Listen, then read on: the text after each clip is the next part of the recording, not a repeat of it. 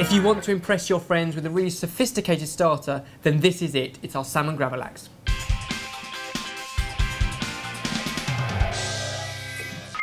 To cure our salmon, what we need to do is mix it with some salt, some sugar, and the flavours of orange and beetroot. Okay, and then when it's cured overnight, then we can serve it with a fennel salad. Okay, so really crisp, show-off kind of starter. So we're curing it, not cooking it. Correct. Process of osmosis and changing the pH, but we'll come to all that like later on. magic then? First of all, it is kind of magic. First of all, though, we need to make our kind of sludge.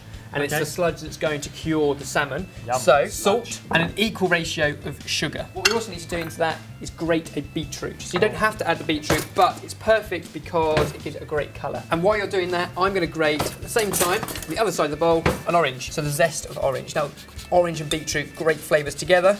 And what the salt does is change the pH of the fish. So it's Okay. kind of, as you, as you cook fish in acid sometimes, this is the reverse of that, but it also draws out all the moisture from the fish. Ah, okay, and that's the osmosis. And that helps cook it in the process. What we're going to do is squeeze the juice of one of our oranges into there as well. And then Barry, if you can grab a spoon and mix the whole lot up into a sort of pink, purpley, beetrooty, orangey sludge. What a strange mixture. So our fish, in this case salmon, is completely raw. We've taken the skin off, but it's one nice big piece. Mm-hmm. However, said that, we serve really small portions of Gravlax, so that's mm-hmm. enough there for four or six people as a starter.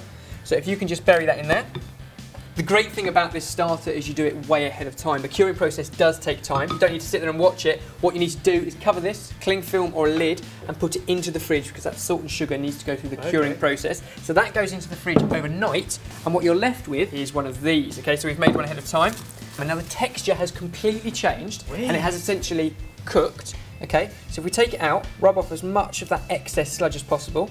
Okay. Now, because of that, it's just salt, sugar, and beetroot and orange. You can reuse that for up to a week or two, curing more salmon if you like. It looks really solid. Well, feel it. It's like almost like leather. Oh, okay, so be careful as you rub it off. But what we're going to do is try and rinse off as much of that excess sludge as possible. Now, I'm going to chop up some parsley over here. So this is just fresh parsley, and what we want is a nice fine dusting.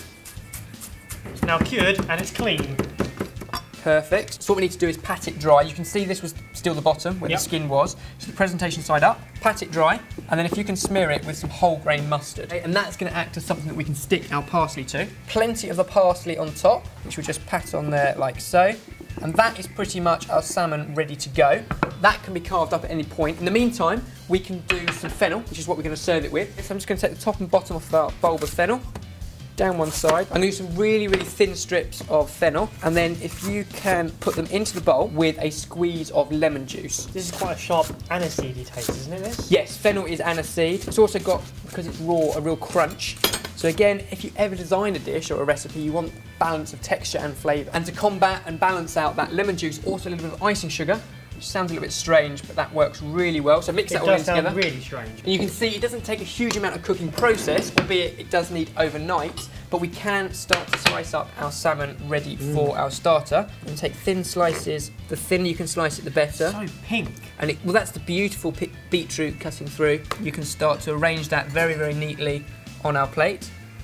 I get scared of these bits, Ben. Don't forget we need that balance of this fennel, which has had the lemon juice and the icing sugar.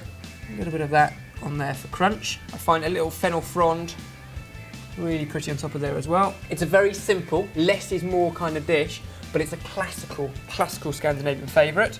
So there we go, our salmon and beetroot gravlax sorted.